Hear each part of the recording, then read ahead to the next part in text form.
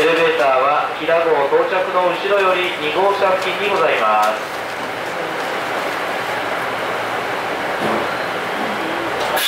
ホームにて写真撮影をされるお客様にお願いをいたします。展示ブロックの上や展示ブロック外側での撮影は禁止となっております。転落事故防止列車との接触事故防止のため黄色い展示ブロック内側での撮影をお願いいたします。通行のお客様の妨げとならないよう周りへのご配慮もお願いいたします。撮影の際はご通行のお客様の妨げとならないようご注意ください。